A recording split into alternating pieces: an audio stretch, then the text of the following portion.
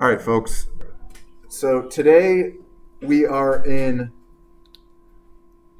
I guess here I have it listed as the fourth step of match motion, um, if you include filming, but everywhere else I have it as three. Regardless, uh, today is the composure class. This this may be the most confusing class of all the classes. Uh, not only because composure itself is confusing, but also because today we're bringing everything together. And I'm recording. Uh, we're also scheduled to do our our training for the media commons today, but that might get chopped depending on how this goes in the beginning of class. Okay? So if it does get chopped, we, I may just ask you to do it individually. Sorry. Sorry, Eric. but we'll see how it goes. Maybe maybe y'all are already know how to do this and we can just wrap it up in five minutes. But I doubt that.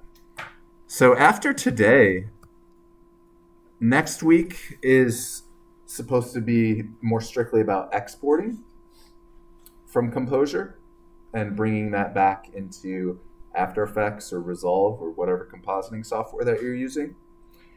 But that is fairly straightforward. I think uh, most of you have some compositing experience, so that's not really a ton of new stuff once we get the files out.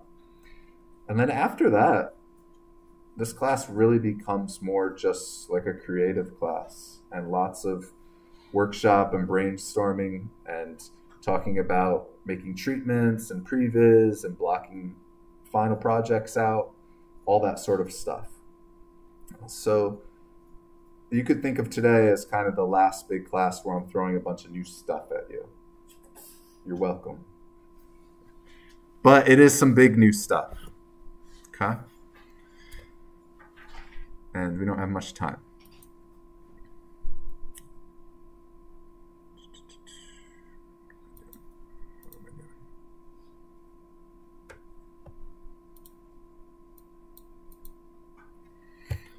All right. Yeah. So pipeline part three. We've gone through the whole gamut here. After Effects, our 3D digital content creation software, into Unreal. If you found, perhaps you found a way to skip one of these steps. If so, that's awesome. Uh, if you have any sort of tips and suggestions, it'd be great if you could share with the group instead of keeping all the secrets to yourself. And, you know, perhaps you know how to do tracking in Blender or know how to do tracking in Cinema and can bypass the After Effects step. Useful to know. Uh, perhaps you are using a plugin that goes straight from After Effects to Unreal. They exist. They've existed for a long time, uh, but they have quirks. Some of them do. Uh, perhaps you you can use that. Uh, it'd be really useful if you have that knowledge. If you can share, not for me, but for your friends. Uh, so, you know, we've we've gone over over the last couple weeks a lot of different ways to get cameras and video footage into Unreal. At its most simplest level, I think we did the very second class, maybe the first class, I don't recall. We put video on a plane, we place it somewhere in the world. Simple, right? I guess the video setup process is a little tedious, but after that, it's pretty simple. We drive the camera around, we point it at it, it works. We see our video in a world. Another way that we could do things is one thing we haven't introduced yet is using what's called an image plate in Unreal. An image plate is a plate, uh, a, basically a plane uh, that is fully aligned to the camera. So it's basically a, a plane that is parented to the camera that footage is put on. It is full screen, full aspect ratio of the camera, and wherever the camera points, the video goes along with it. That is really useful because you don't have to worry about going around the edge of your video or anything like that.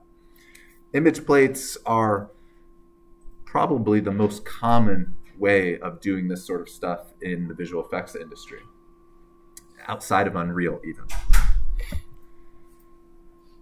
What we will be doing today is we'll be using a media plate using something called composure in Unreal.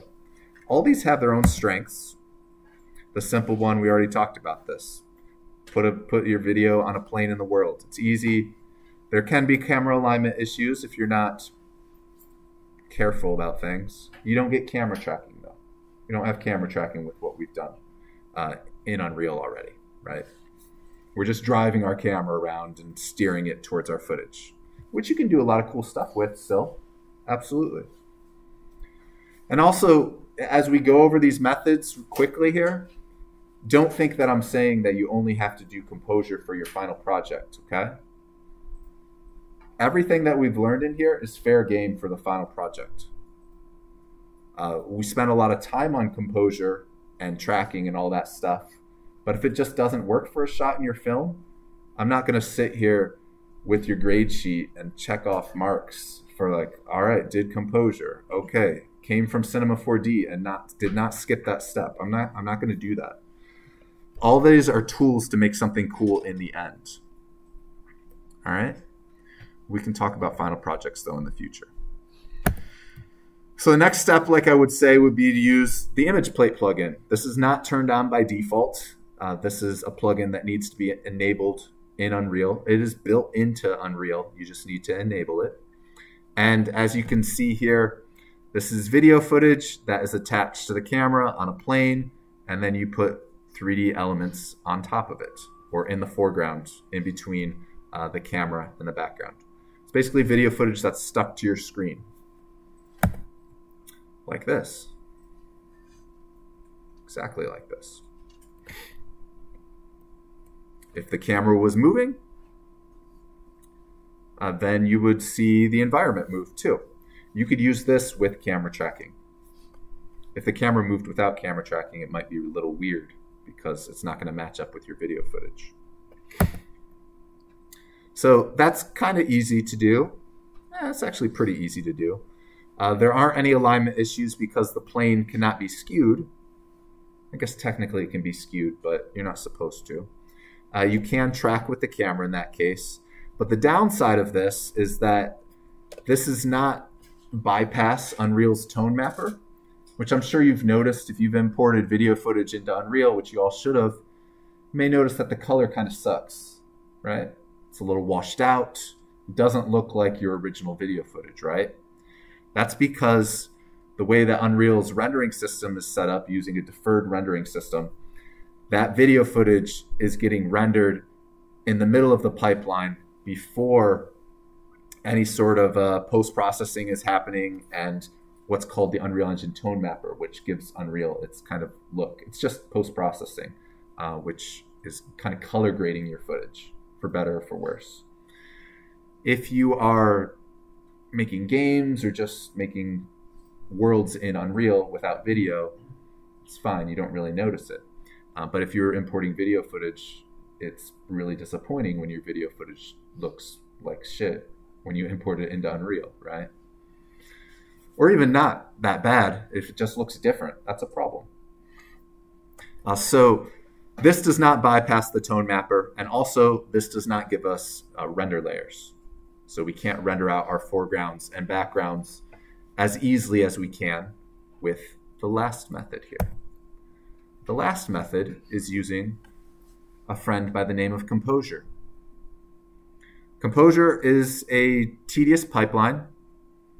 There's just a lot of steps. I don't think it's too difficult. You just got to do all the steps. There's a lot of places that you can crash and burn because you forgot to do one of the steps. Uh, and it allows us to do all this other stuff that we couldn't do. Doesn't have alignment issues because it's stuck to the screen. It's not it's not video footage isn't in your world as a plane. The video footage isn't a plane attached to your camera like it is with the image plate. This is video footage that is attached to your screen as a part of the rendering pipeline, meaning that it bypasses Unreal Engine's tone mapper. So the video footage will look like it does in After Effects or wherever you're viewing it. We can use camera tracking with this. We can do real-time compositing if we had, you know, a uh, we got one of one of these guys here, or even like a webcam, bringing a video signal into uh, our computer. We could do live green screen and key it out. if we wanted to. Uh, this class isn't really about real-time compositing, uh, so we're not doing that. We're more using video footage. Uh, it is a layer-based compositing method in Unreal, which we are all familiar with layer-based compositing. We've used After Effects, we've used Unreal, we're familiar with those things. Uh, we can we can access this with blueprints if we wanted to do something programmatic with it, perhaps for an installation. Uh, we can render out shadow catchers. Shadow catcher is an invisible material that does exactly that. It catches the shadow of 3D objects so that the shadows can be composited back on top of the 2D video footage.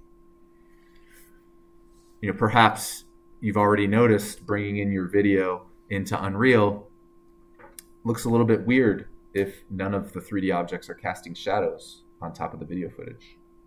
It's going to be even more true in Composure. That's why we would need to use something like Composure to make the shadow catcher material. If you're familiar with 3D tools like Cinema or Maya, Blender, they also have shadow catcher materials that allow you to render out just the shadow on alpha to composite back into your scene. And also Composure allows us to output render layers separately, foregrounds, backgrounds, different mattes if we need to. Uh, it's, it's just the most, it's most like actual VFX pipelines, this Composure with Unreal. It is still a little work in progress. And it definitely does not have the full momentum of Epic Games behind it because predominantly still a, games company. Um, but this is their attempt to make VFX uh, compositing work in Unreal professionally. And I think you can see, because this class exists, because all the other stuff going on in the world, that it's going in a positive direction. And that's going to continue to be the case. At least until we all go back to Unity, right? That's a joke. So this class is an introduction to compositing with Composure. Uh, there is not a ton of documentation for Composure, but they do have these this quick start stuff that has a lot of animated GIFs to walk you through the process. I'm going to quickly go through those in this lecture before we do the hands-on demo for the majority of our class. Uh, full disclosure, all of the documentation is using Unreal Engine 4. Not a big deal. The menus are just a little bit of a different color. It's the same stuff though. Unreal Engine 5 is really just Unreal Engine 4.28. It's pretty much the same thing. It's just a different coat of paint on top. Uh, so definitely check out the documentation, uh, even if you don't have questions. So this video here is for an engine sample that Epic includes for how to use Composure. It uses EXR files of Epic's old campus in Raleigh, North Carolina. That's what that building is, and the ground, and the chairs, and the tree. All of that is video footage. The only thing actually in that scene that is CG is the robot man.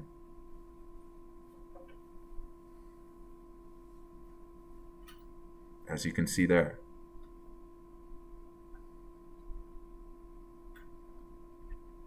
This was put together using Composure. You can download that Composure project if you want to rip it apart. I will warn you, that Composure project will likely kick your ass. It kicked my ass for a few years, and then finally I got to a point where kind of understood it. a couple student assistants went by, we figured it out. A couple of them quit. I'm not doing this Composure shit anymore. kind of a true story. Not not totally, but kind of. Um, also, be advised if you do download this, it's an enormous project because it includes image sequences, uh, EXR image sequences of the video footage there.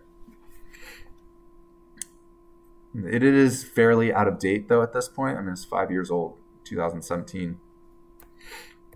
Uh, but that is where we start from.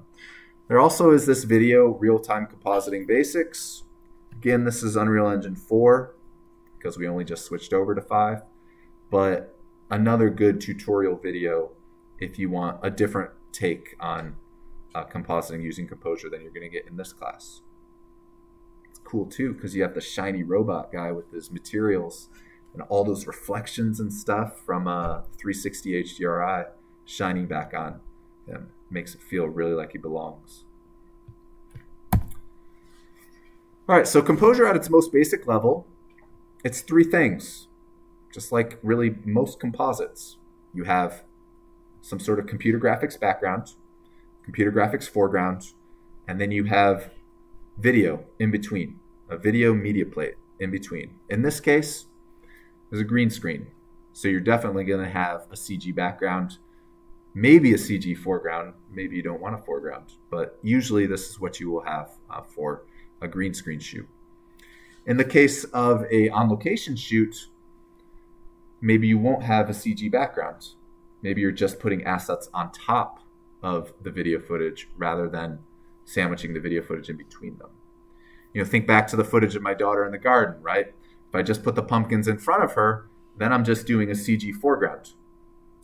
But if I want the pumpkin to go behind her as well as in front of her, then I need to rotoscope her out, right? So actually, then I have four video, I have four different elements, right? I would have the background media plate, I would have the CG background, then I would have the foreground media plate, which is her rotoscoped out, and then I would have the foreground computer graphics. Uh, we'll walk through that scenario today. You end up with the final composite. This is a green screen composite. This is a live green screen composite. The live compositing in Unreal is not something that we're really going to spend. We might we might do like a show and tell if I can get it, if I can get us uh, the proper setup.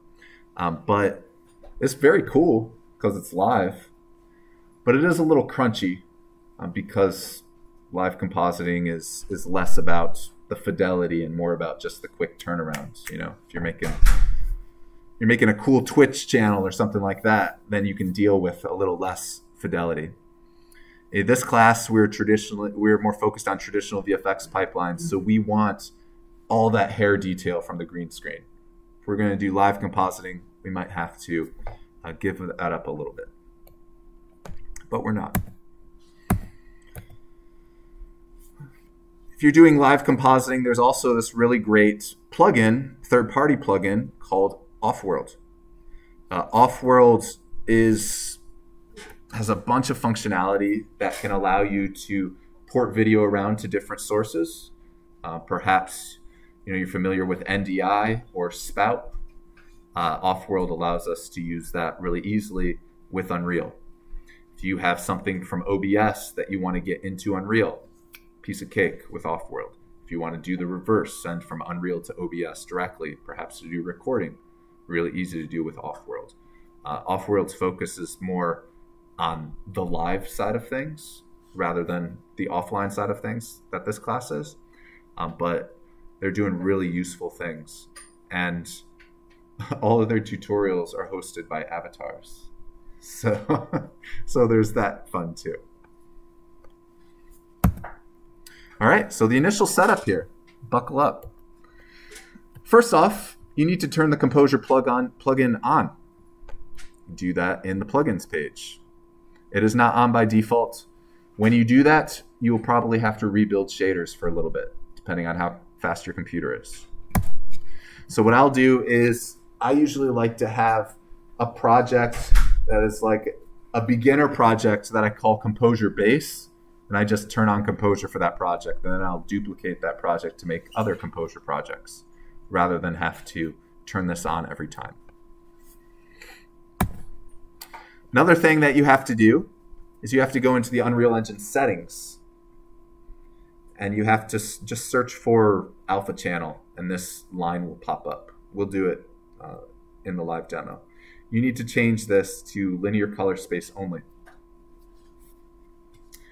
Some of you will probably have the problem for the assignment for this week where your foreground computer graphics, they're just sitting on black. You can't see the video footage behind them. You have everything lined up foreground computer graphics, video, background computer graphics, but for whatever reason, your foreground computer graphics are just on black. You're not, there's no alpha channel. It's because you didn't turn this on. That's why. That's why it's in red. Always happens. The off-world live avatar. I heard. I heard the voice. I know that's a very recognizable voice. All right. So after we turn on those plugins, we can import the 3D camera. The way that we're importing the 3D camera in this class this semester is slightly different than we've done in the past. If you have a camera that has animation on it, you can export that as an FBX files and import that into Unreal as you would with any sort of 3D model file, okay? Or 3D model file with animation. And it will import with keyframes if you bring that into Sequencer. I found that it's a little bit easier to use uh, the Datasmith plugin since we're using Cinema 4D. Uh, so that's the pipeline that I'm going to show. If you want to do it with FBX files and you can get it to work and you feel good about that, that's absolutely fine. That's how we used to do it, and sometimes I'll still do that too if I'm not using. If I'm using Maya, that's how I'll do it. If I'm using Cinema, I'll do it the way that we're doing in class. So yeah, we are on this portion of things right now. So we need to set up Datasmith. This is also a plugin. We need to go into the plugins and turn on both of these things. The second one should be on already, but the first one most likely will not be. Unless you've chosen one of the presets that turns it on automatically. So we need to turn on the C4D importer if we are importing from C4D. If you're not doing C4D, you don't need to do this part. And we need to set up the sequencer.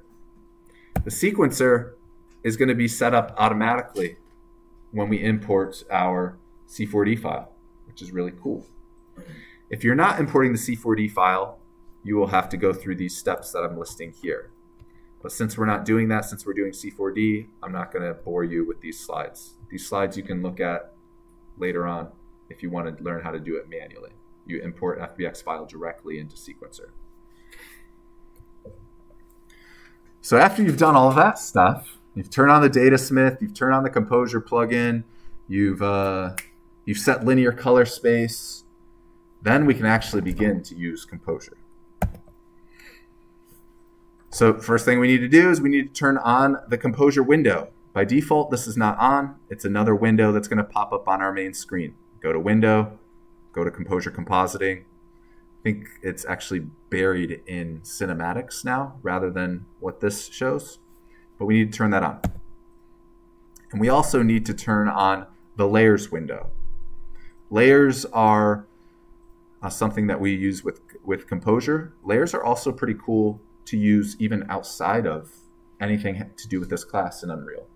Layers in Unreal are a newish thing. They work like layers in Photoshop basically they're folders of assets. So say you had i don't know a, a, a, forest scene right? And you wanted to put all of your trees into a layer called trees. You select all your trees in your world you drag them into the layer called trees. Now you can turn them all on and off just like you would if you turned a folder off in any sort of program. Uh, really kind of powerful organizational tool for worlds that have a lot going on. In composure, this is less of an organizational thing and more just how it's set up. Like we have to use layers to tell composure what the foreground is and what the background is. so after we've popped up those two windows, I'm going to go and do this all live too after we go through these slides. After we pop up those two windows, in the composure window, we right click and it says create new comp. This is our the top level of our comp. This is the root of our composure project here. So we right click new comp and then we click on empty comp shot.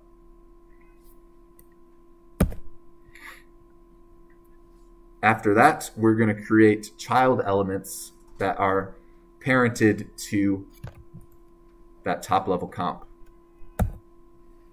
We're going to create child elements for the media plate, the video footage. We're going to create child elements for the foreground and background CG elements.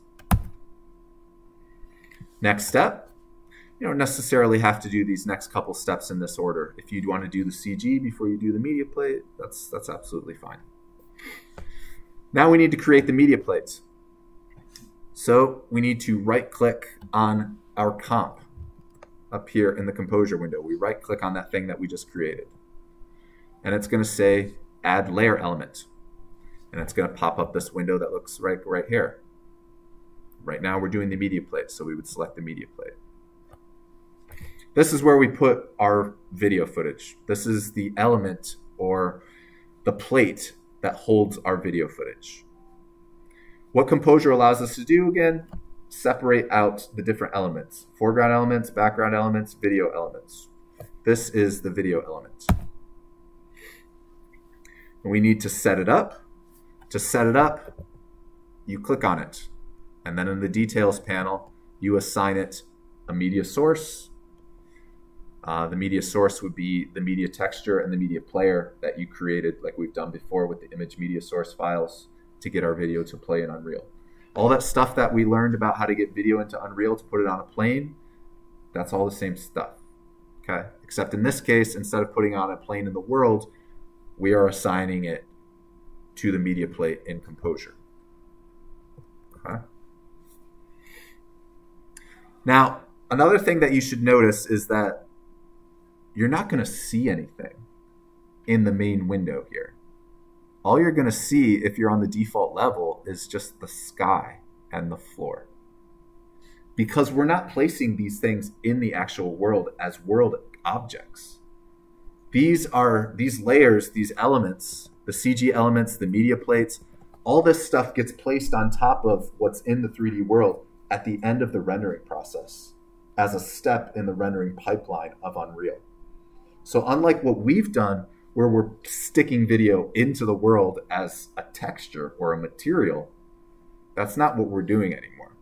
Uh, this is very much more like an actual VFX workflow. And gives us the advantage that we bypass Unreal's uh, tone mapper. So the point is, is that you might not see anything. You won't see anything until you click on one of these elements. If you want to see the media plate, click on it, and then a little window down bottom will pop up and you will see the media plate. Just like if you have a camera in your world, if you click on the camera, you'll get a little preview window through that camera feed. Okay? I think this is probably the single most frustrating things that people struggle with in the first couple minutes of composure. Why don't I see anything? Why am I just seeing a world from a weird angle? You have to kind of abstract yourself from the 3D world while looking through these different viewports. Can become a little bit difficult to do, especially on like a tiny laptop screen if you don't have another screen to put these viewports on. You'll see. I will struggle with it uh, window management wise as we do the demo.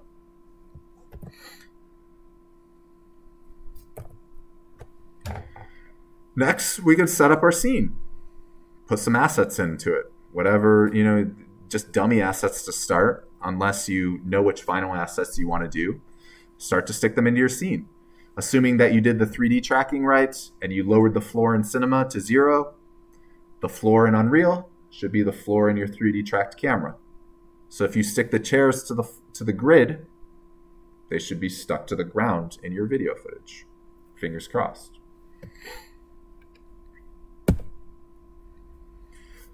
Next step, after we have some CG elements that we want, we need to do that right click thing again. Right click on the comp.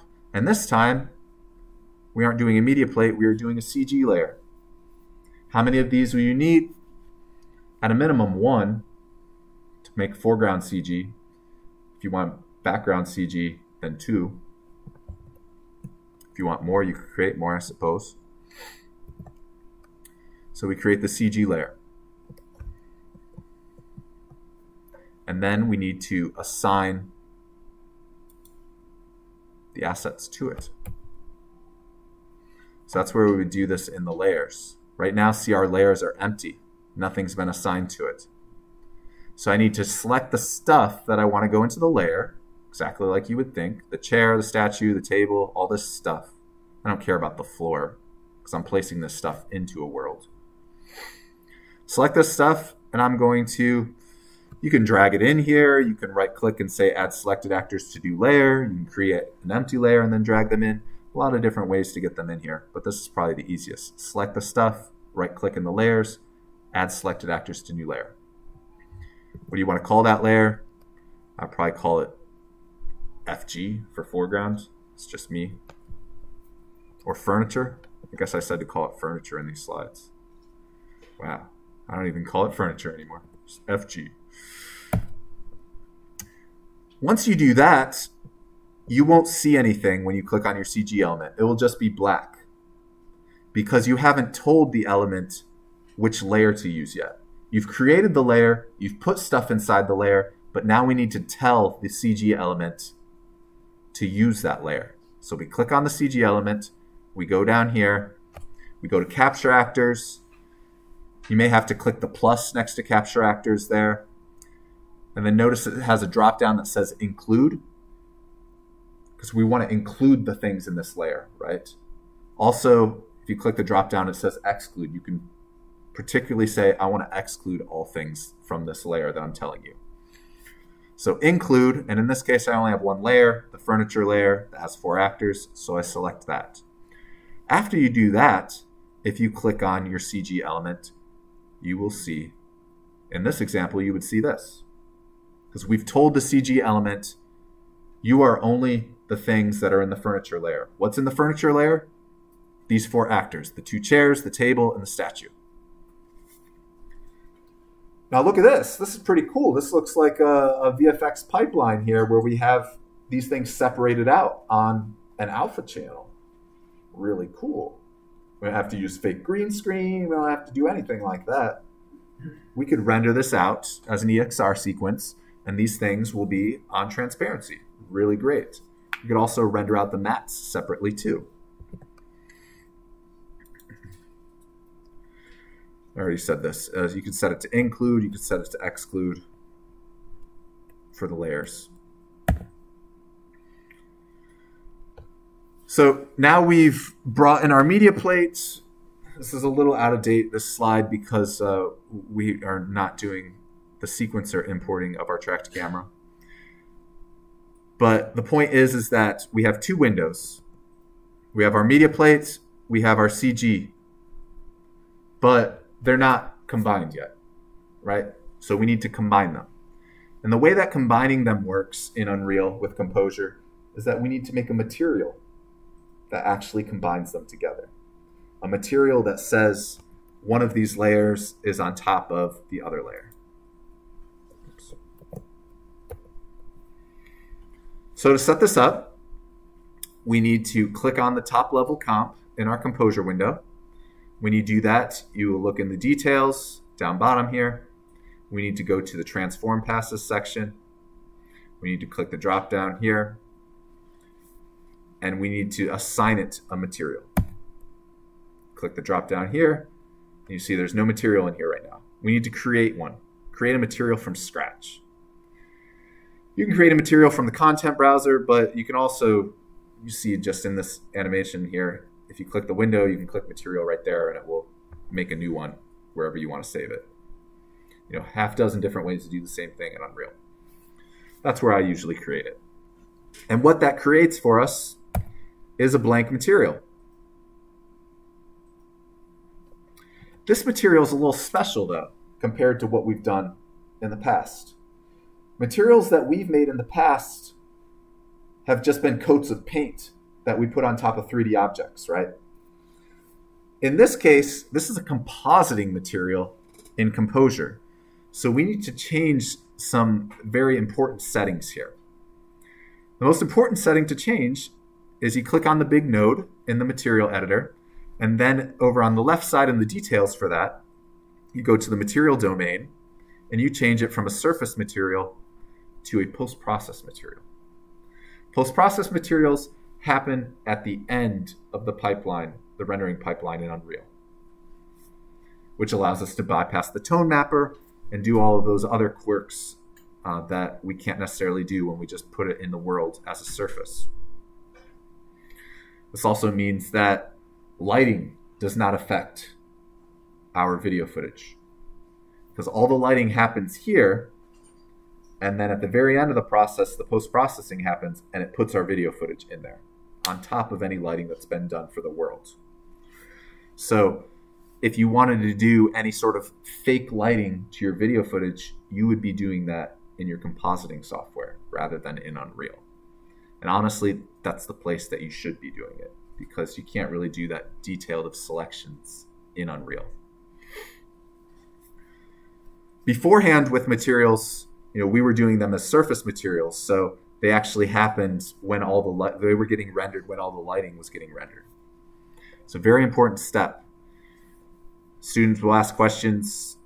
How do I get? Uh, you know, how do I set it up? I, I I'm not seeing it. You probably didn't make the material post process material. That's how you do it. And then the next setup is actually really easy. We just need to create a, param- a 2D texture parameter for each of the elements that we have in Composure. We only created two. We created the media plate and we created the, the CG element one. The name that you name these things should be the name that they are in the Composure window. Very important. If you named it media plate, media underscore plate 15672, it better be called that in the Composure window. It better be called that in the material. Otherwise, it's not going to know what you're trying to do. I usually just call mine media, FG, and BG for foreground and background. If there's something more complicated where I have more elements than that, I name them accordingly. But most of the time, it's just two or three things. So we create those two 2D texture parameters. And then we have to use an over node. Has anybody ever composited in Fusion or Nuke before? You may be familiar with the over node or the merge node. Takes an A input, takes a B input, puts the A over top of the B, slaps the A on top of the B, right? And then maybe you have another one and it takes that combination and slaps another A on top of the previous ones. And you can keep doing that and have a huge whole long chain of things. This is node based compositing, different than layer based compositing. This is how compositing and Fusion and Nuke works, and how it works in Composure, uh, but much easier in Composure than Nuke or Fusion. Uh, so we have our foreground element that sits on top of our media plate, that sits on top of our background element. You can name these whatever that you want. The, the names are kind of arbitrary. I think it makes sense to call them foreground and media and background, though. And what we want to do is we want to sandwich your media plate between the foreground and background, right? And we do that with this over node here. And it ultimately ends up looking like this. If I want my CG element here to be on top of my media plate, if I want the table and chairs and the statue to be on top of the video footage, this is how I would set it up. CG element 1 plugs into the A input, the media plate, the video footage plugs into the B, the B, the B input because A is on top of B. And then the output from RGBA from the over node plugs into the emissive color. Notice that there is only one input in a post-processing material like this. Uh, other note, very, very, very important that you do RGBA not RGB. We've we've always done RB, RGB so far in class. That's what most things are, right? For this, we need RGBA because we're also doing alpha. This is another problem that always happens. Without a doubt, someone in this class will forget to do this. Don't let that be you.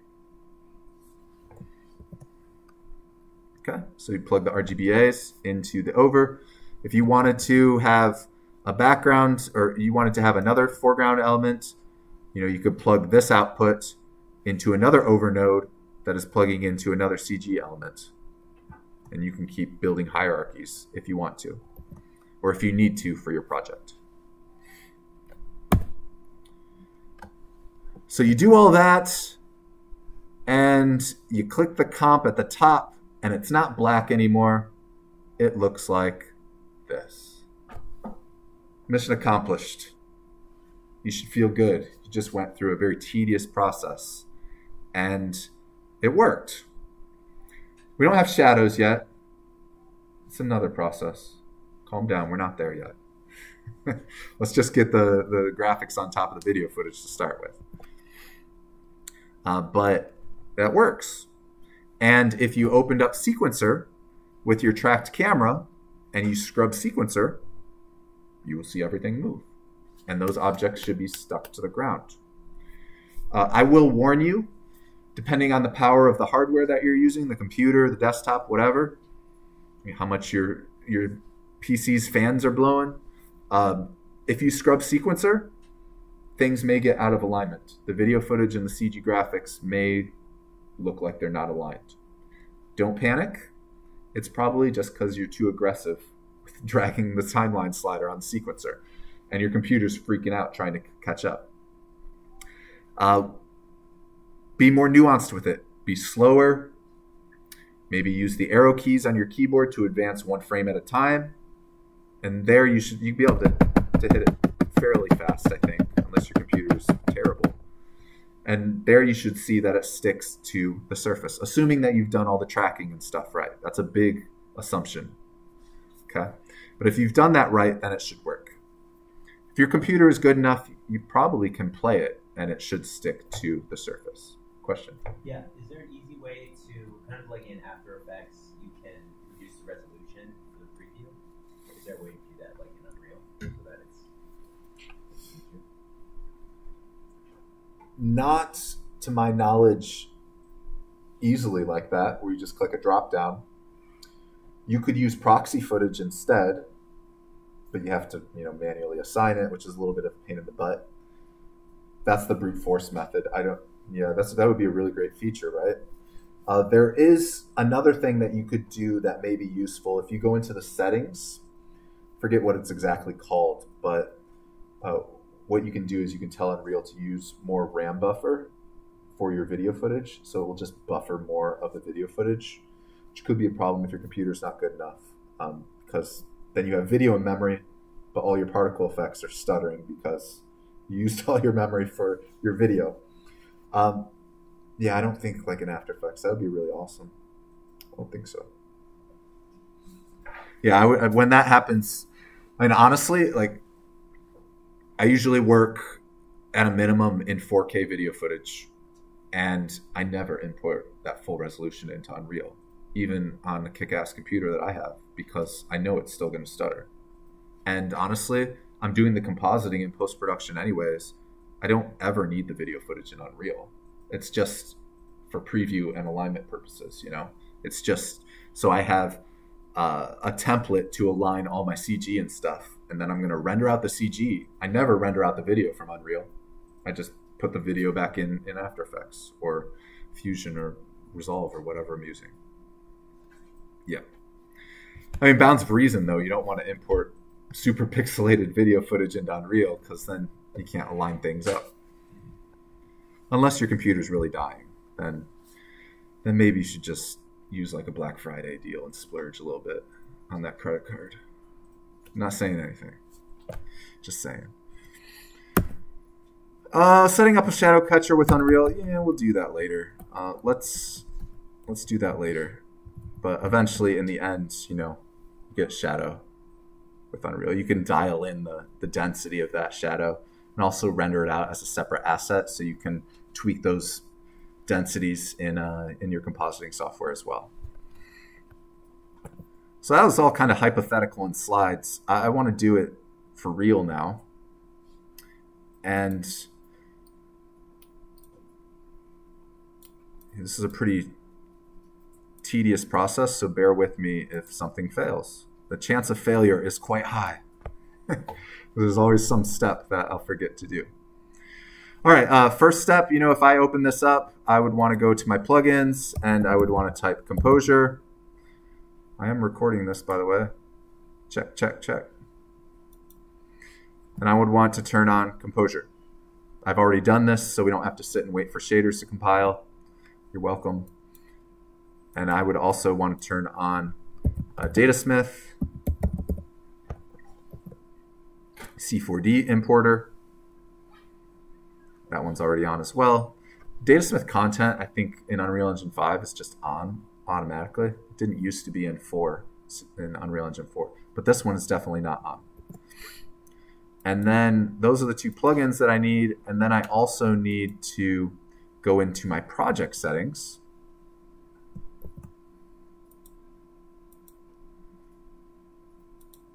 I don't actually know what menu it's in, so I always just type alpha. And we want to change this one. Post-processing. Enable alpha channel support and post-processing. Experimental. Ooh, we're really pushing the envelope here. Linear color space only. That's what we want. The default is allow through tone mapper. No, no, no, no, no. We don't want that. Linear color space only. If you don't do this, you will never get your CG graphics to be composited on top of your video. It will just be black. Okay? All right. So which step do we want to break off first? So before we even get into composure, I want to show you just how to bring in a tracked camera, period. Okay? Which is kind of a separate thing. If you, in this class, we learn camera tracking, right? Perhaps you don't want to have live action video in your 3D world. Not for a final project, but let's just say outside of this class, right? Perhaps you have a project in Unreal and you want to do some handheld shaky cam or something like that, right? You don't want to do it in sequencer with keyframes. You want to do it live, right? You don't have access to a motion capture facility because you don't go to NYU and you don't know Todd you don't know me and all these other people. So maybe you want to use camera tracking like what we've done in After Effects to control your camera in Unreal. So you do what you've done, shoot video footage of this room, of me walking around this room vaguely to the camera movement that I want in Unreal. I could then import that camera into Unreal and use that camera just purely with Unreal. No video footage at all, just as a handheld tracked camera. So we do that entirely outside of Composure and really outside the, the boundaries of this class. And that's done a lot of times, actually. More so with actually like real motion capture cameras. That's always better. Um, but if you don't have access to those things, you could do what we you could do the pipeline that we've done for tracked cameras to get a tracked uh, motion controlled camera, if that makes sense. And that's what I'm going to do right now, actually. Um, to make things a little bit more fun, I'm going to jump into a different level here. Uh, tis the season, so I'm going to get some pumpkins.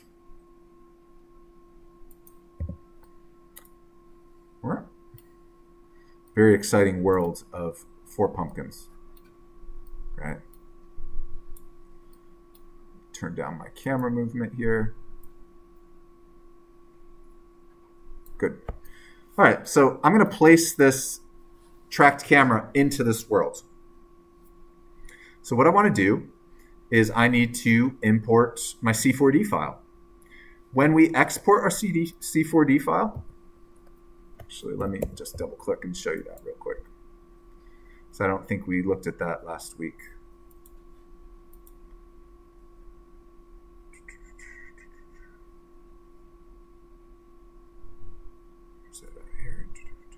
There we go.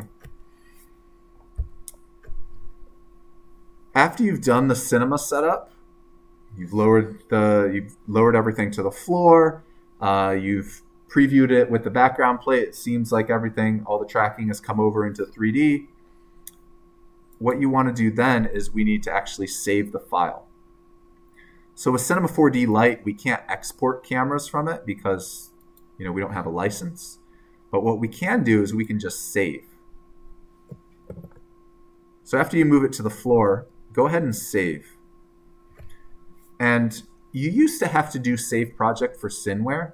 I don't actually think that's the case anymore, as cinema's not stuck back five years ago anymore. But in the interest of solving problems, let's just do save project for Cineware. And what that will do is just allow you to save out the Cinema 4D file. Okay? You just save out the C4D file. That's all. I've already done that. So what we're going to do is we're going to import that C4D file into Unreal. It's a little bit of a different place to do this rather than importing other sorts of assets into Unreal. We need to go up here to this little import box. And assuming that you've turned the plugin on for Datasmith, it will be right here. So click this little box, Datasmith, file import. Then find the C4D file that you want to import and just double click it. Also, uh, choose a folder for it to import to. I think I'm going to import it into this folder. And click OK. It's going to ask you what you want to import.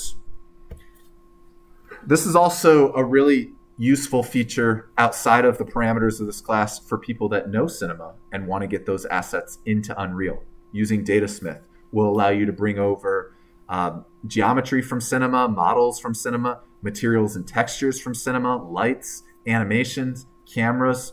If you know Cinema and that is your 3D tool of choice, you should get very familiar with Datasmith if you're using Unreal as well.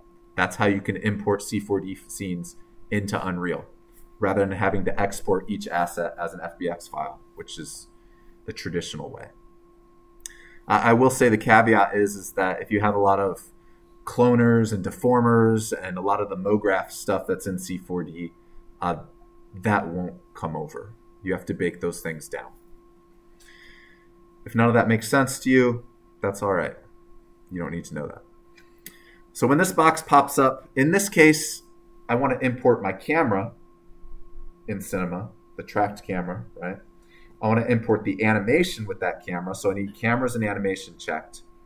And in this case, I'm also going to import uh, the cube and the, the solid for the floor that we originally created in After Effects.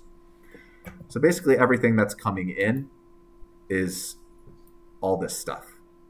The pink thing, the cube, and the camera that's moving around. I don't need the background or any of that stuff. Okay, and click import. Depending on your computer, this might take some time. Also, if your camera track is really long, this might take some time. Uh, this should only take two minutes, I think. Uh, but this is only like 240 frames. But if you have a really long sequence, this could take a lot longer. Don't panic stuck at zero. I know. I want to panic right now, but it'll be okay. Any questions so far? There should be. There's a lot of stuff. this is going to be one of those ones where you need to refer to the documentation and the video and slow it down to like 0.1x speed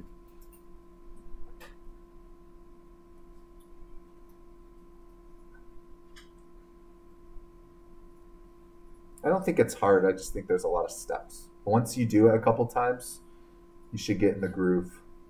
But it's really easy to just forget something or panic, like 0%.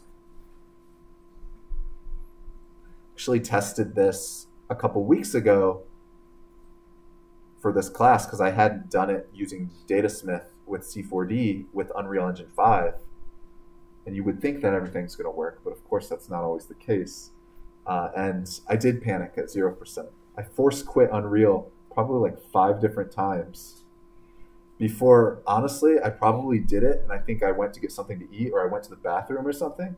And I came back and it worked just because I let it do its work instead of canceling it out. Um, so be patient. Actually, getting a little nervous waiting for it. What if it doesn't work?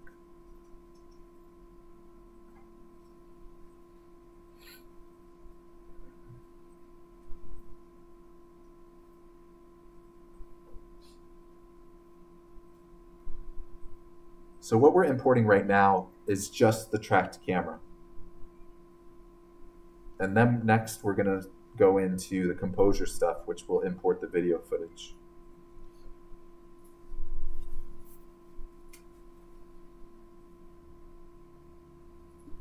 Get nervous.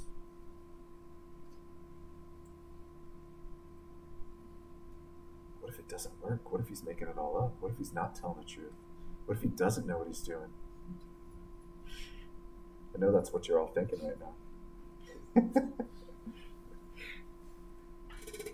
My gosh, has it been two minutes?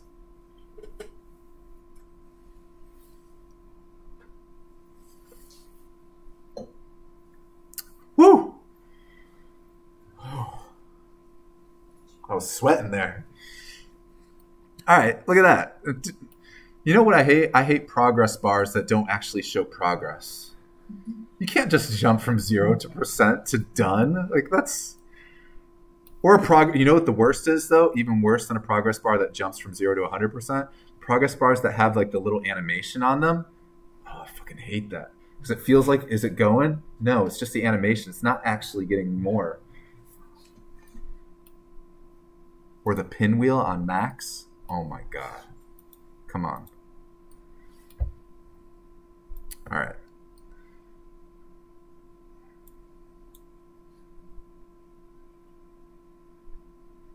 Okay, I don't know why you got really slow all of a sudden.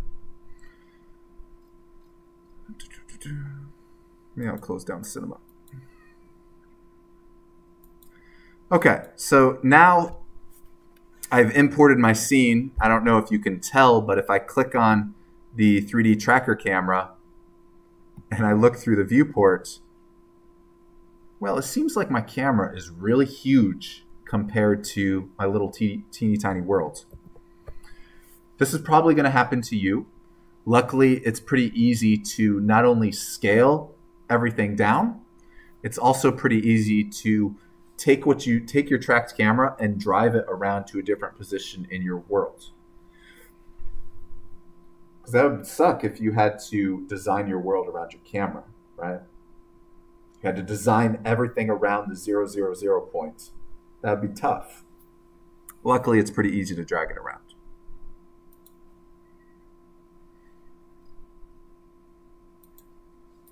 So that's what I'm going to do.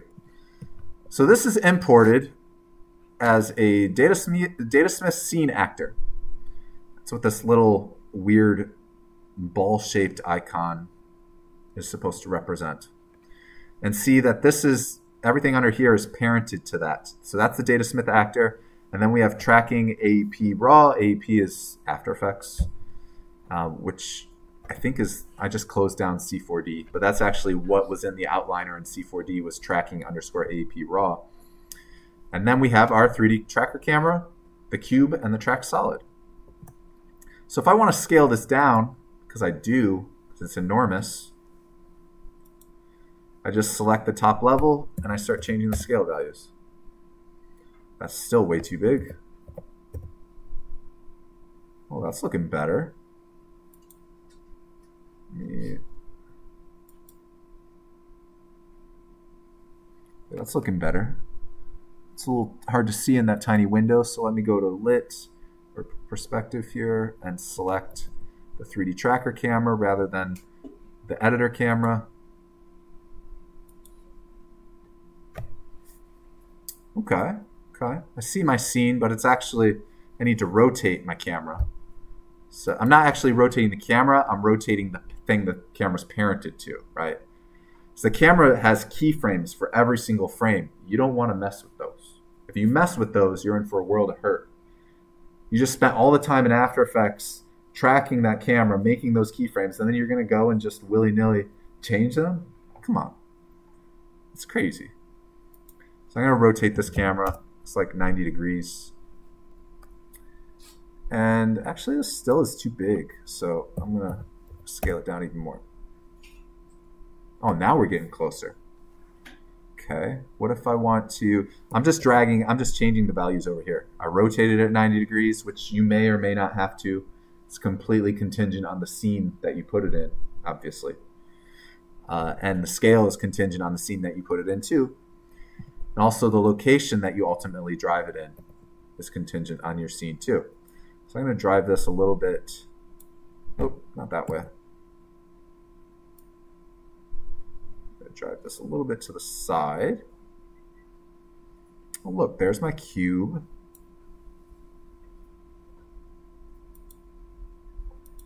Actually, if I pop out of this view really quick, pop out of this view really quick.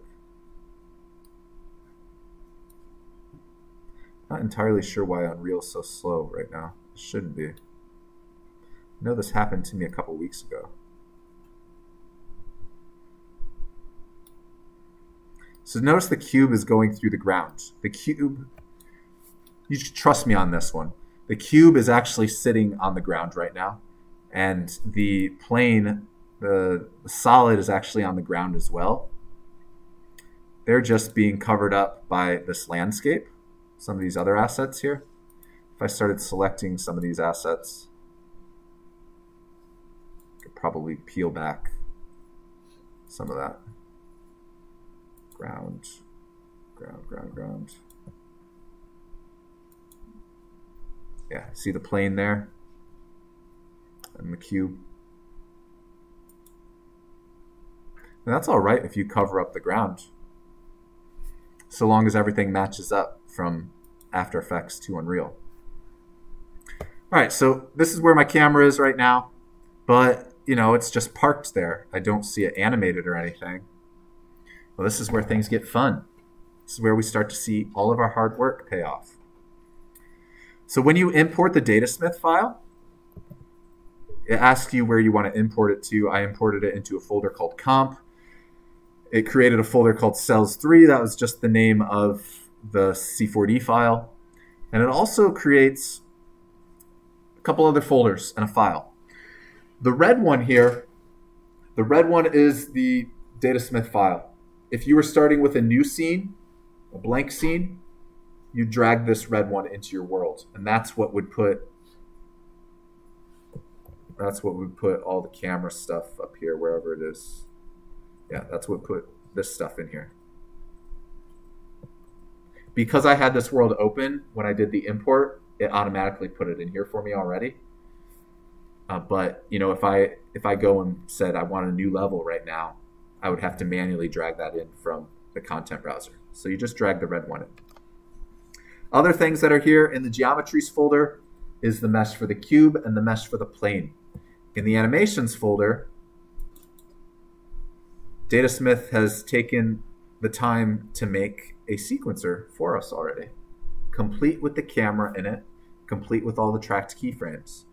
So all I need to do is just double click this. Oops, oops, oops. Trying to make that window bigger. Come on.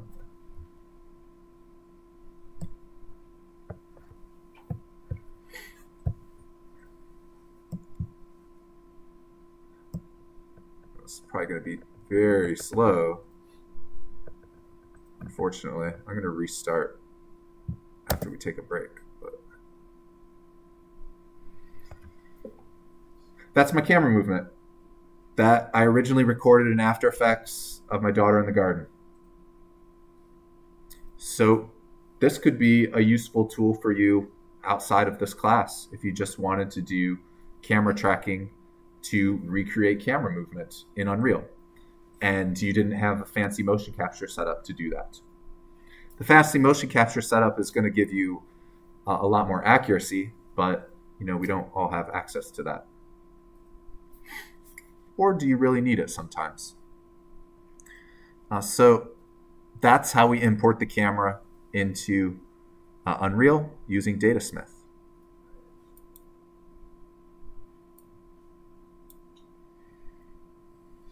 Questions about that?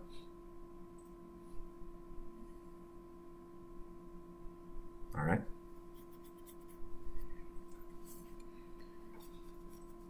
You know what? Why don't we take a quick 15 minute break and I'm going to restart this and I don't want it to be slow when we start to do the composure stuff. And I'm not sure why it's slow right now. All right.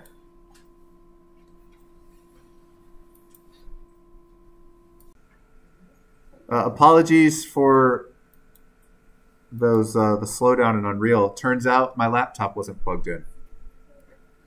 Simple as that. I was on battery saver mode. So when in doubt, don't panic. Just plug your laptop in. Don't panic. Don't cancel class. Just plug it in. So here's a the smooth camera movement now from the camera tracker. It's the exact same camera movement that was done with these hands in the real world with a real camera, now brought into Unreal Engine. Could be neat, could be cool to do. It definitely adds uh, a different level of uh, realism to things. I would say it's really hard to recreate sort of handheld cameras in software. Uh, it's a lot faster to do it live, do it for real if you can. So that's one use case that you can use that completely ignores anything else that we're trying to do in this class. No composure, just tracked cameras. Well, let's start doing the composure stuff. Are y'all ready? I'm going to start a new level. I guess basic is fine because it has a sun already. I'm not going to save this. All right, new level. And I've already imported my Datasmith file, right? I did that for the pumpkin world already. So all I'm going to do is just drag it into this world, like I was saying before we took a break.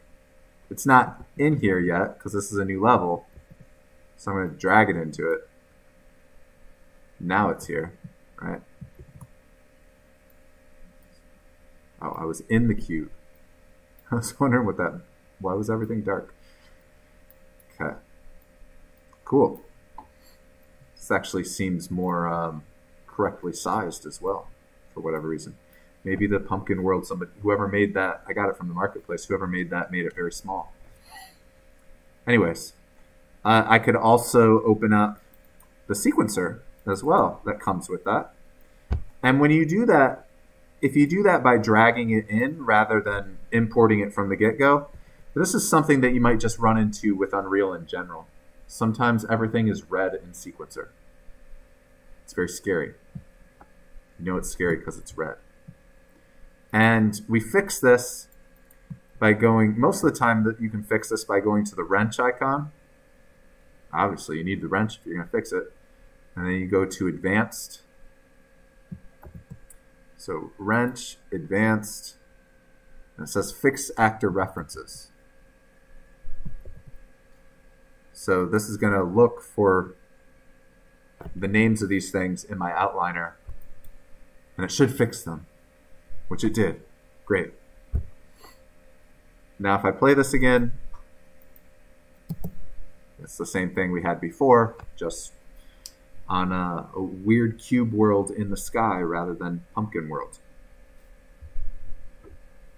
So we're going to start to do the composure stuff now. And you know, you don't you, you could you could do the composure stuff first and then import the camera. You could do import the camera first, then do the composure. It doesn't really matter. Um, and there are a couple things that overlap that you're going to need the other one imported for.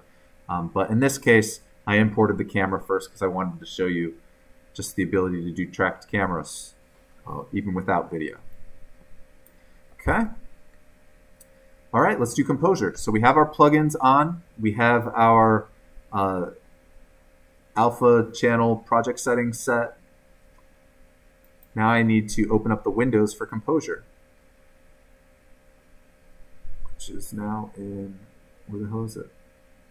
Did I close it down? Oh, it's in virtual production.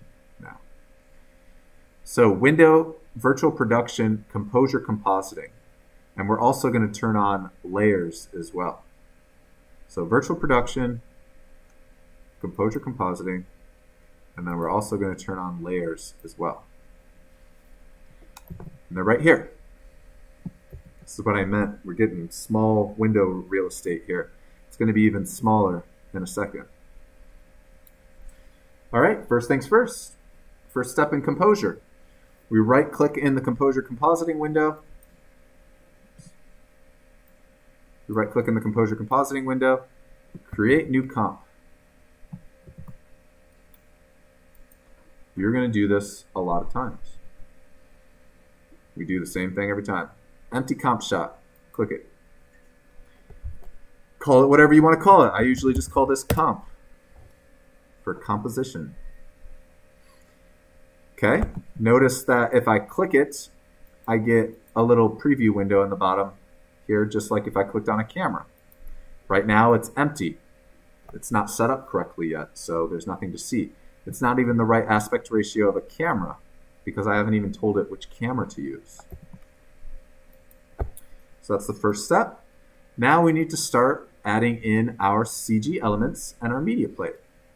I'm going to do the media plate first. So I'm going to right click, add layer element. Right click, add layer element. It's going to ask us which kind do you want to create.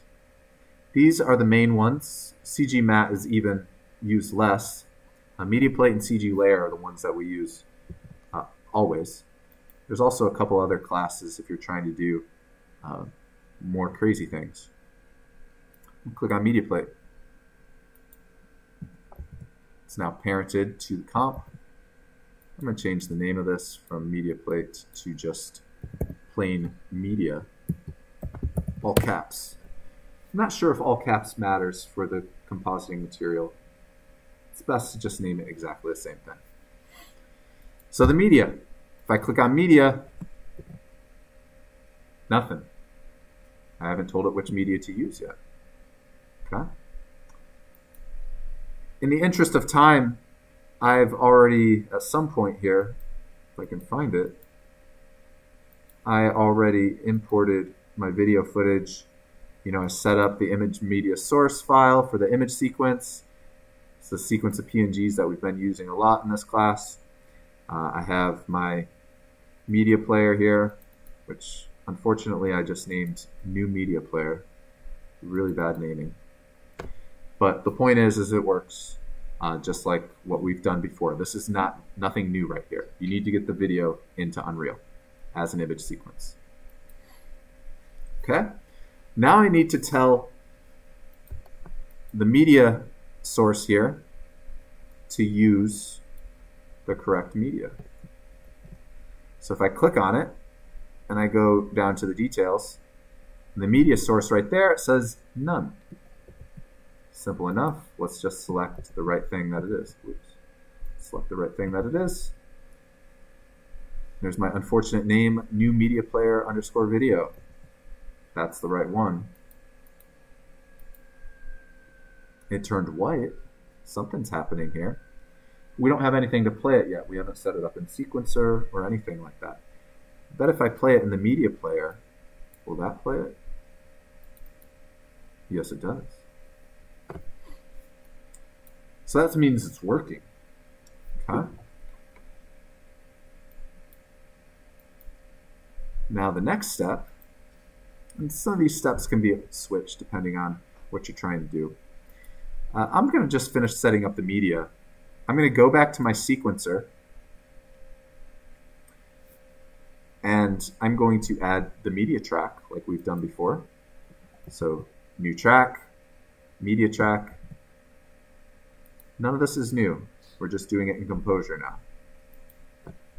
Click on a little plus, find the media, it's this one.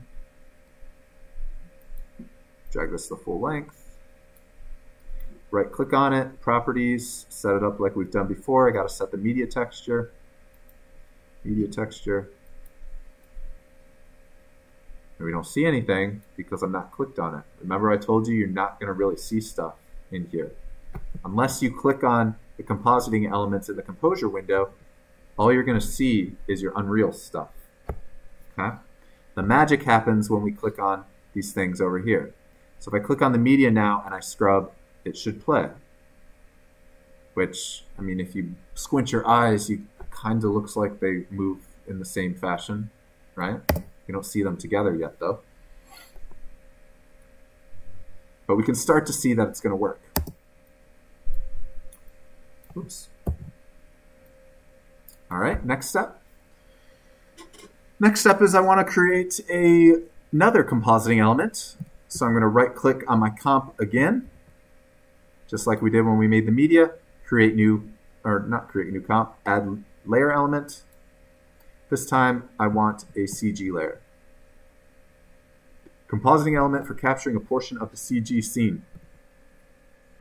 Click.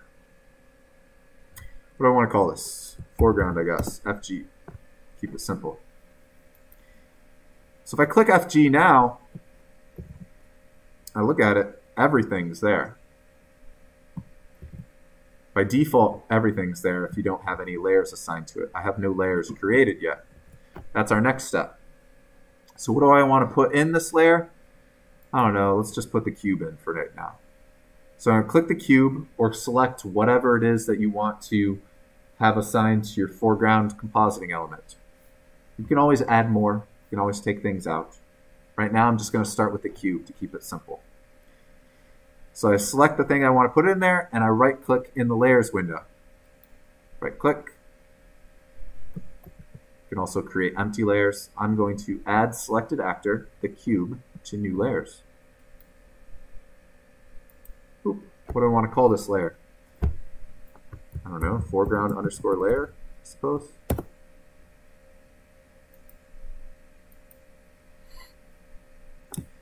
So with layers in general, composure or no composure, you can have as many as you want. You can turn the entire layer off with the eyeball, clicking things on and off. Uh, with blueprints, you can turn on layers and turn them off, which is really cool. If you need to batch, turn things on and off. Uh, I found that useful in a couple projects, a couple um, live installation projects before. Um, if you want to see what's in the layer, you need to select it and click the little button down there that says see contents. You might be able to double click it. I don't know for sure. Now on the right, the little cement block icon that says I have one thing in there. Can I double click it? Nope. Got to click see contents. Click see contents. Now it's telling me inside of the layer foreground underscore layer, there's a cube inside of it. This is where I can add new things. I can take things out with the X. I can individually hide things. If I don't want to fully, if I don't want to hide the entire layer, I can individually hide assets here. Click the back button to go back. Okay. So at this point, I need to tell the foreground what it is the foreground compositing element is just going to be the cube. So let's select the foreground compositing element here. And then in the details panel, you just scroll down to about the middle, the composure section, and input capture actors. I need to click the plus on the right there next to capture actors.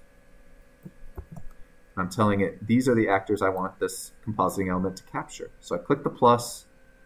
It's going to give me an array here. So I have one element here.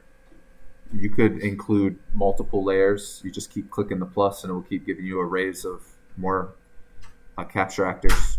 I only have one, so all I need is one.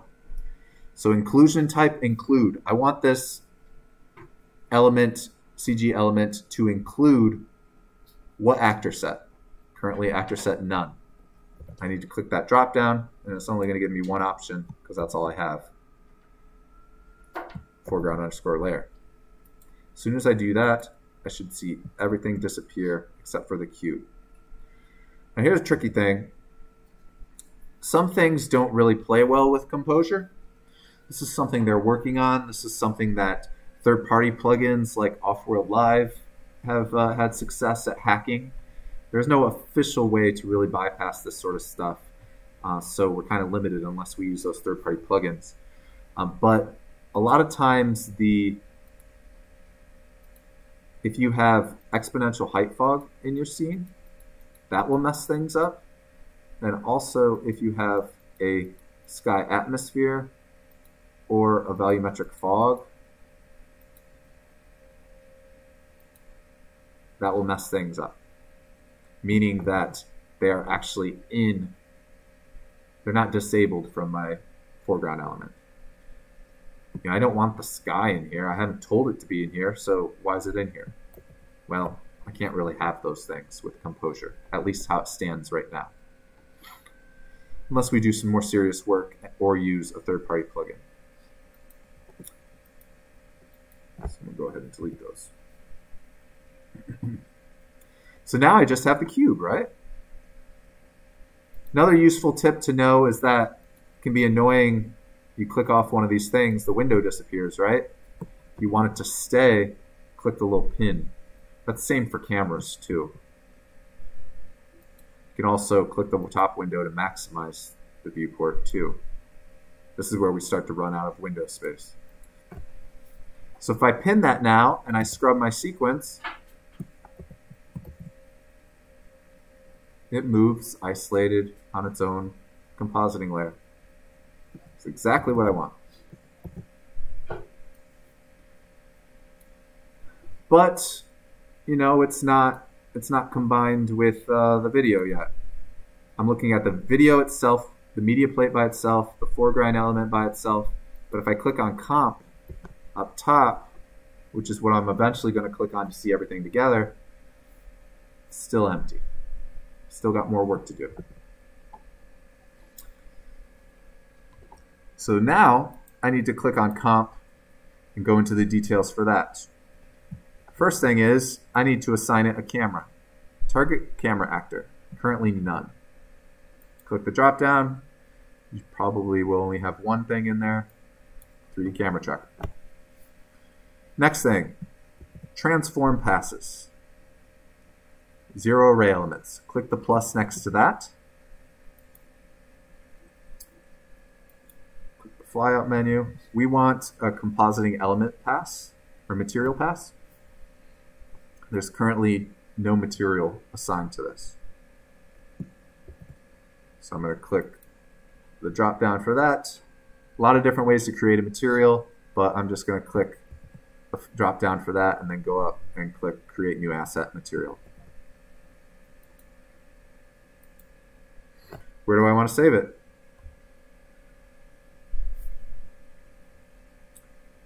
Let's save it in this folder. Usually I call this m underscore compositing. Save. Now I'm going to double click it. We created it, but we haven't set it up yet. Double click it.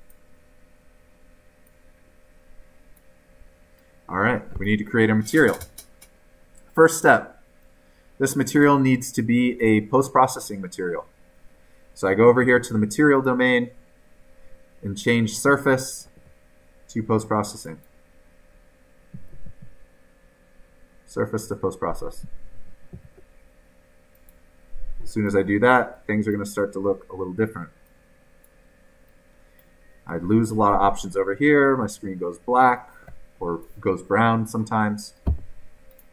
That's what we want. Now I'm going to right click and create a 2D uh, texture parameter. Texture parameter 2D, actually.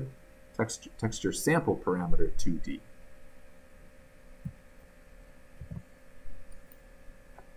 2D texture. I'm just going to copy and paste because I need two of these. It's important that you name them. What were my names? Media and FG. Should probably put the FG organizationally. I should probably put that on top. okay. Now I need to create an over node. Right click, over. Get the over node. Foreground plugs into A. The media, because it's underneath the foreground, plugs into B. A over B plugs into emissive color. Remember, we're using, I repeat, we are using RGBA, not RGB, RGBA. If you use RGB, it's an instant fail. RGBA.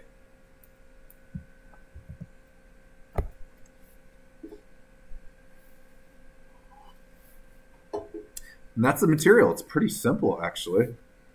there might be a scenario. I don't know if I'm going to do it in this case, but you know, say I had another, say I made a, a background. So I do the same thing.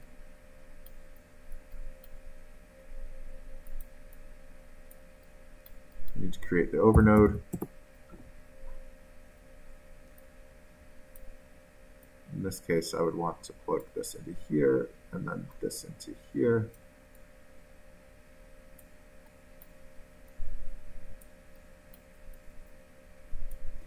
Need to use that Q key to straighten everything.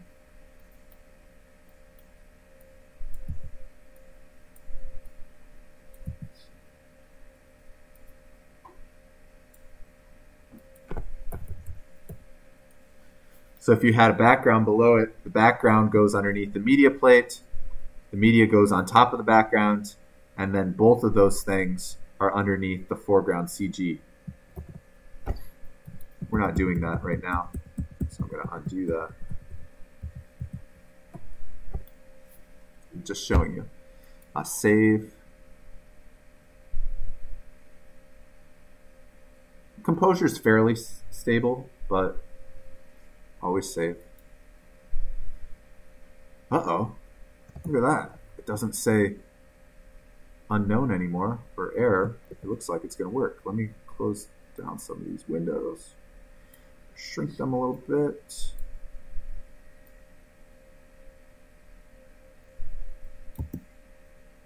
By golly. I think it's working. This is where the window management really suffers. Oh my goodness, look at that. All that stuff to get a cube on top of a video. uh, what is this, week eight? Week eight weeks to get a cube on top of a video.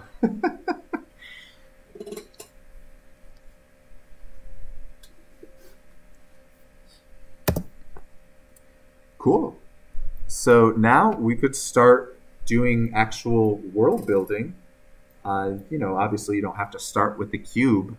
I just did that because it's a basic shape. But if I wanted to start to build this out, you know, I'll do a little live world building right now. I'll keep this floor just here as a reference, even though it's not actually in my shot. Also, I'm going to pin this here. Oops, that's why it's screwing up. Need to eject my camera view. All right. So what you do is you world build in this window while you look at this tiny window. Or you drag this tiny window to another monitor or maybe to the side here while you world build. Okay, so what do we got here? I don't know. We got tis the season again, so we can bring in like big ass spooky arch or something. Scale this way up. Now it's not popping up. Why is it not popping up? Because it's not in the layer, right? So if I wanted to put this big arch in the layer, I have to drag it from my outliner into the layer. In this case, it doesn't really matter to me that everything's in the same layer. Perhaps for whatever you're trying to do, you might want to have separated out layers, especially if you're having a background, obviously. I don't have a background in this case. If you did have a background, that brings up an interesting point. If you did have a background, there are ways for you to bring in a rotoed version of the person here composite that on top of the background, but underneath or in front of uh, the background CG, but underneath the foreground CG. So a little bit more steps. It's a little bit more tricky. It is nice because you can actually see like an approximation of what it's going to be when you composite it in After Effects. Personally, I find that, and maybe I've just done this enough time that, you know, if I have if I have the background elements actually like cut through her body, I still can visualize it in my head because I know I'm going to chop it out separately in After Effects anyways. Um, but if it helps you to see it in Unreal, that's something that I could show you perhaps next week. Um, this is a couple extra steps. Um, and there is sometimes the, the if you have more than one media plate, they don't always perfectly align, which is a little annoying. Uh, but for right now, let's just focus on our foreground. So I'm going to drag this into my foreground layer and it should pop up. There it is. Maybe I'll move this here. Maybe I'll rotate it a little bit. I'll play my sequencer to make sure that it doesn't get weird. This should probably be a little bit bigger. Cool. I'm actually going to go ahead and delete my cube. I don't need that anymore move that. Maybe I want to go and get some some ground. I think I have some assets in here called ground.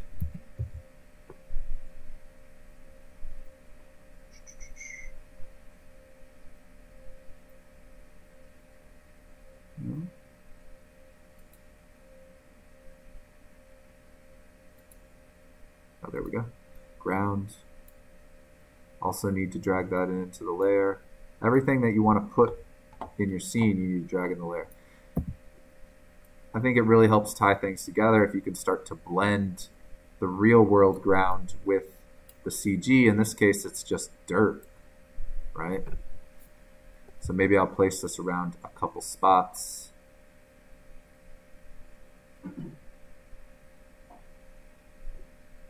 there. Maybe I'll go and grab uh, some of my fun little pumpkins.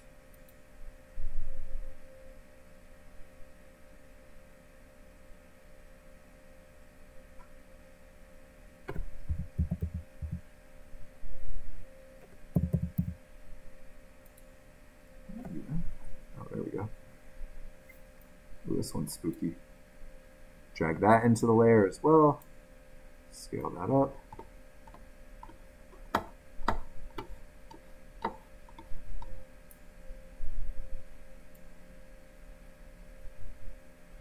Maybe I'll put it back here.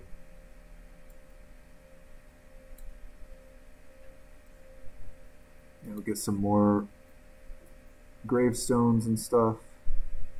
It'll be very spooky. Drag that in, scale it up. You might not have to do the scaling. It depends on you know, how big your world was to begin with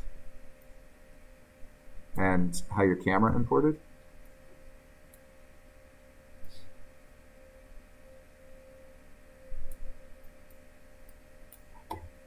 You see how I'm building in the one window and then looking at it in the comp window. Now I want to go into my camera and put a little depth of field on it. So right now everything's kind of in focus. It looks like with this camera, click on the debug focus settings, kind of drive back the focus.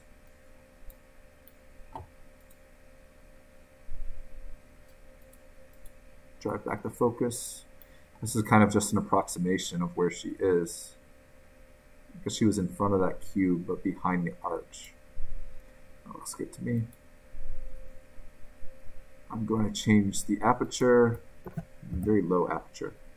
Oh, even a 1.2 is not good enough. So I'm going to make the minimum f-stop 0.1 in possible apertures. You know what? Not enough. I'm going to you 0.01. Whoa.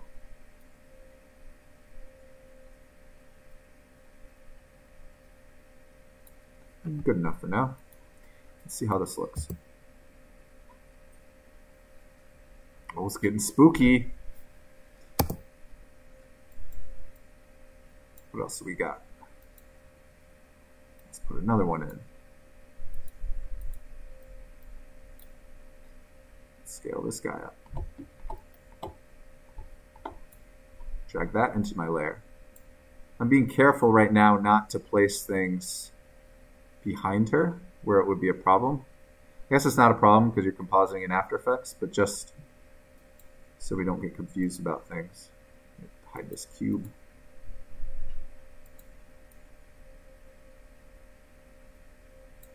You know what? Maybe I'll put that on the other side. There. Maybe I'll go and grab that dirt.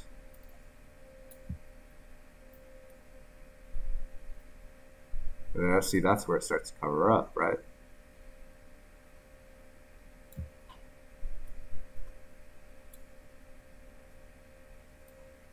You know what we really need to start to tie this together?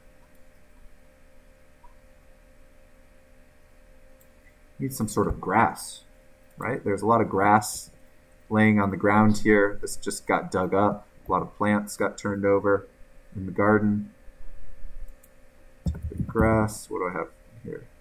Some grass clumps. Drag this in. Drag that into my foreground layer. Scale it up.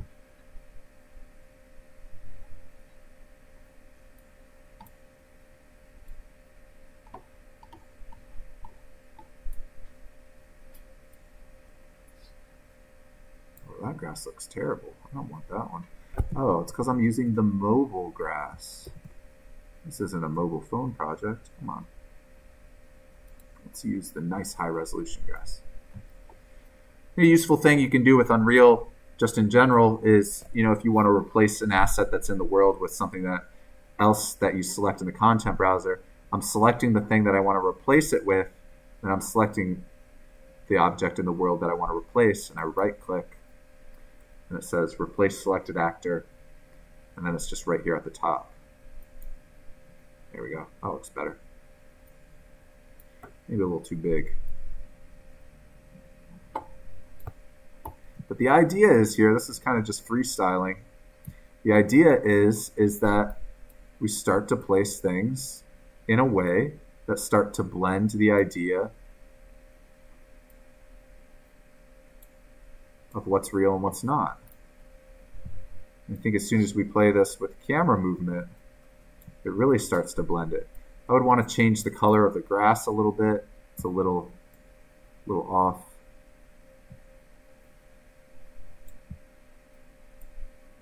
Scale up the grass here.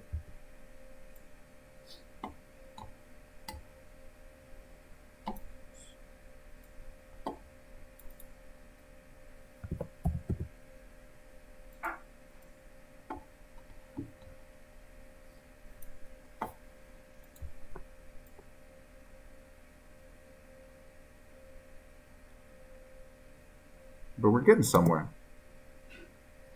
Now the next thing would be lighting. The original video footage is very flat lighting. It was an overcast day, not to mention it's ungraded footage. So very flat, not really very much shadows, no directional shadows really. Uh, so maybe I want to go into my light, my directional light. and maybe play around, play around with it a little bit. Point the shadows down more, just up the ground.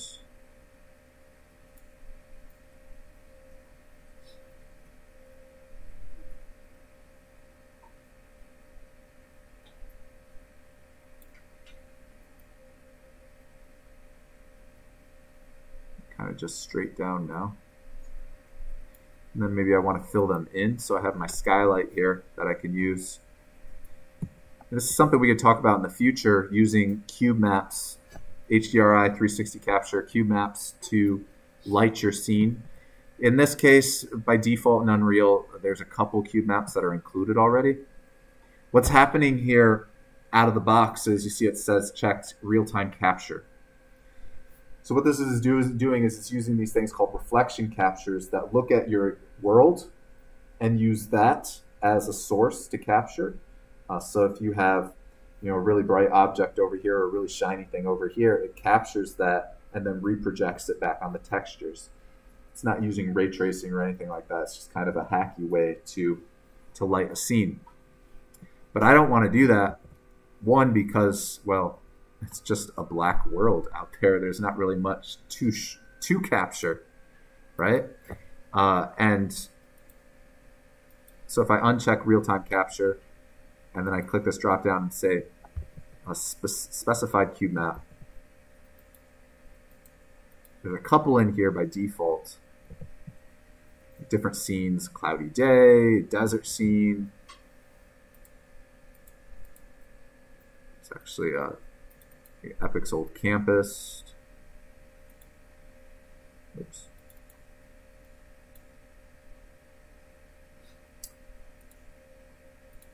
Honestly, I'm probably just going to use the straight gray ones here.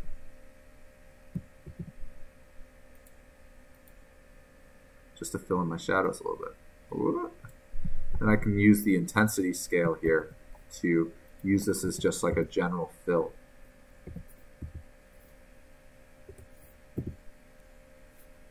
Maybe I need to lower down the intensity on my actual lights first.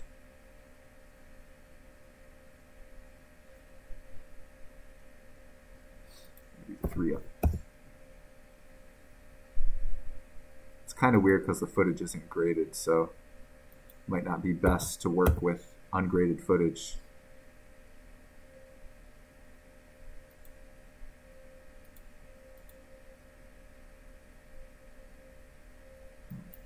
Don't cut shadows. Here we go.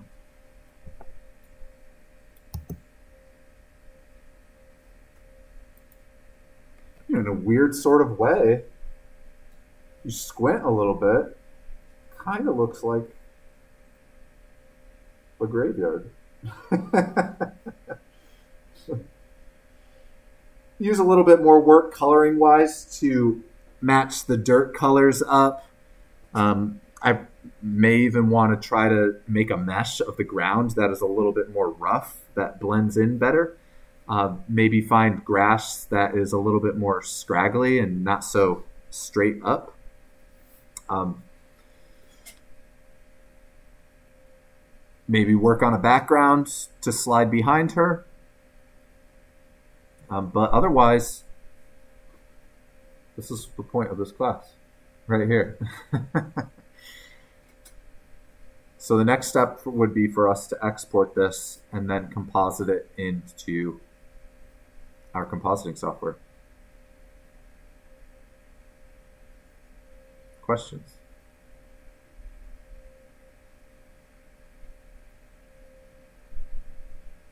Woo! Yeah. Yeah, I'm. So, what if we just uh, import all of these FBX files into the C4D and all objects individually and the A basically does like the same to thing. So you want to build the world in Unreal and then export. No, no, no. I'm, I'm just I'm just saying like like import all of these assets into the C4D because they have the same camera uh, movement. So if we just render out all of these uh, objects individually in the CC with the alpha channel import all of them into the AD, and basically like together, it, it, it basically does the same thing. Yeah, 100%. The only reason we're using Unreal is because not everybody knows how to use a 3D program and we don't have time to render. Okay. So this is like one, okay, I see, live, live one. It's live rendering, right? It's done. I could screen record this and assuming I'm getting 30 frames a second, it's done. Well, I would want to color grade it and stuff and break it apart the pieces, which we're going to do next week. But yeah, it's done. Cinema, those are going to be a couple hours minimum, right? Not to mention, you're going to have to clean up those assets potentially. Uh, I don't know. It might actually be against the terms of service to use marketplace assets from Unreal in cinema without using Unreal. I don't know. Nobody's going to know, but I'll know. I've seen that gravestone before. um, but yeah, I, I've said it before that in our pipeline, traditionally with VFX, we use After Effects to do the camera tracking, maybe, unless you could do the camera tracking in your 3D program. you use Maya and Cinema, you don't even need to do Unreal if you want to do a traditional rendering.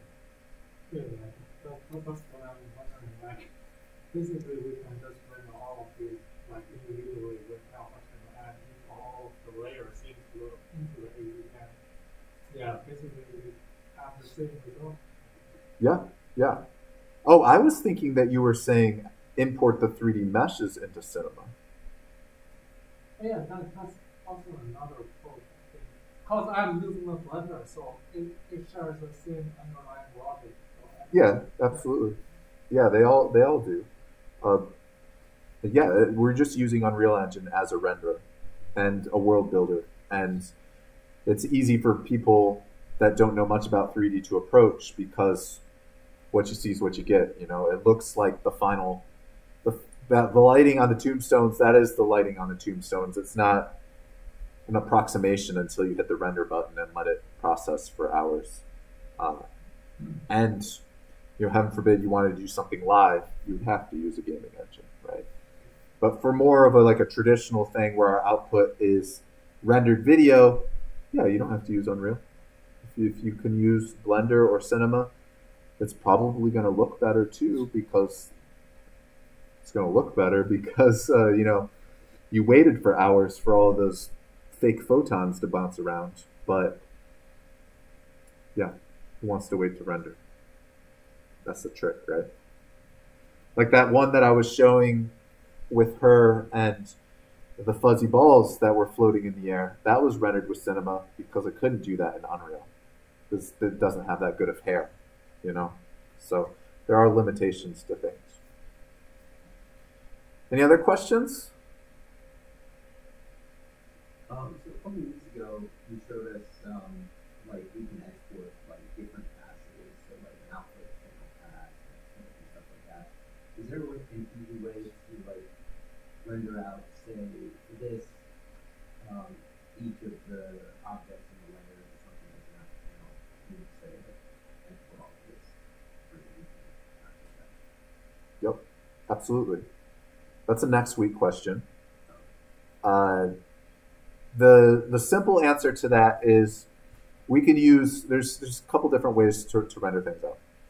So the sim- simple answer to that is is that the way that we've set things up in composure here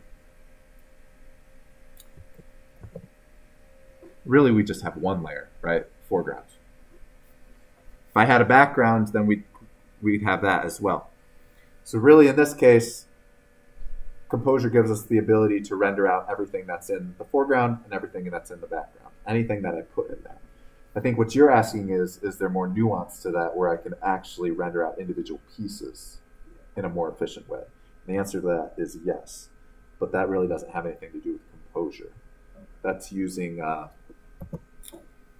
oh, what are they called? Stencil layers. S- stencil layers and all this fancy stuff that exists in the movie render queue.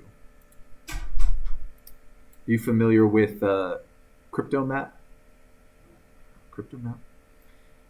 Cryptomatte is a really powerful plugin for 3D softwares that basically allow you to assign different meshes or even different pieces of meshes a mesh ID so that when it gets rendered out, you bring it into a software like Nuke or anything that can recognize mesh IDs, and it extracts that information.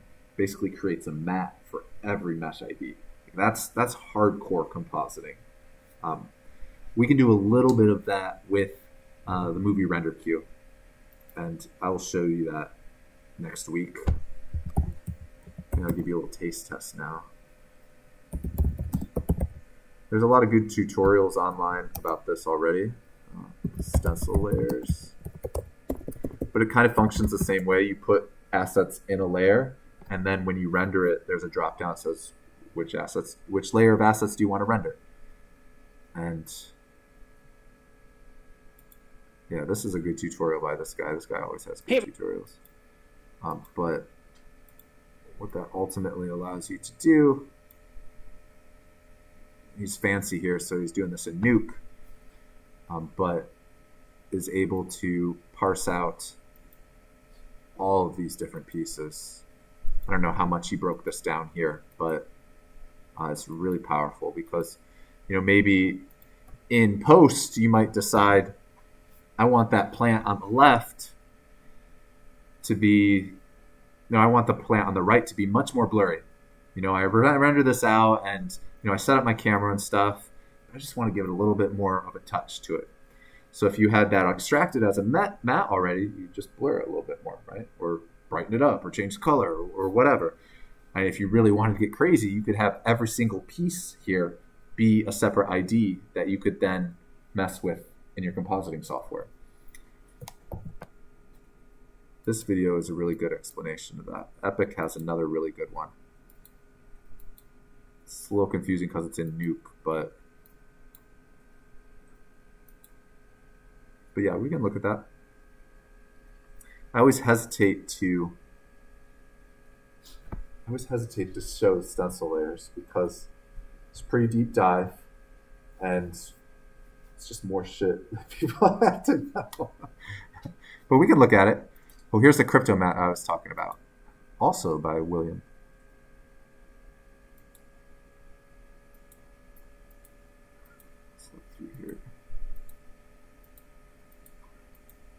Want to see the end result here of Cryptomatte in Photoshop. So check this out.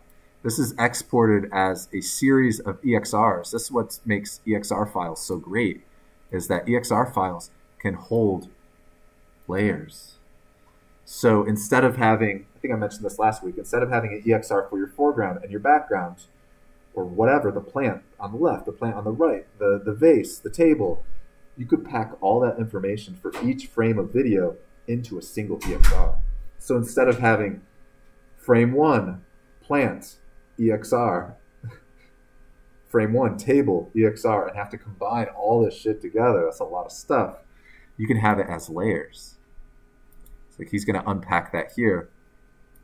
This is one EXR file, and it has, I think it breaks down, he, I imagine he probably breaks down each plant here as well as the table or all this, yeah, all this stuff is parsed out as individual pieces. Uh, Cryptomatte is not built into Photoshop. It's it's a plugin for lots of different softwares for Photoshop for for After Effects. Although After Effects support used to be limited, I'm not sure if they fixed that.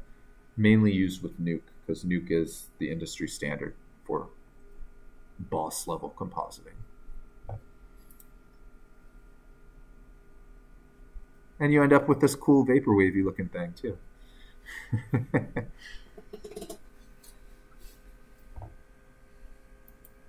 That's cool though, because if you have that separated out, you're like, oh, I don't want that plant to be green. I want it to be slightly less green. And you just change it with uh, hue and saturation rather than having to go back into Unreal, into the material, re render it out, all that sort of stuff. Other questions? Other questions about composure that don't introduce new pipelines today? Are you all composited out? Are you have you lost all composure?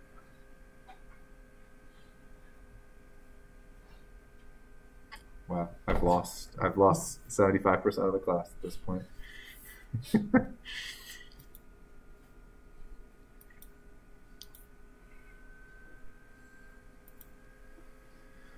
Okay. Um, should we try to go downstairs? Is that crazy? In a half an hour? Okay. I look to you because you're the professional. You know, this is.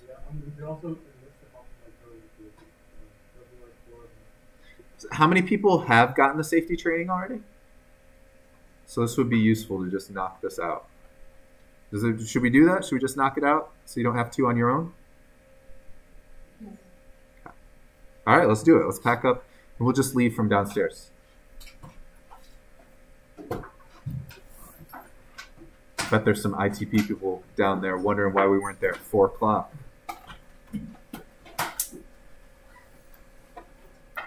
Horrible, horrible ITP people.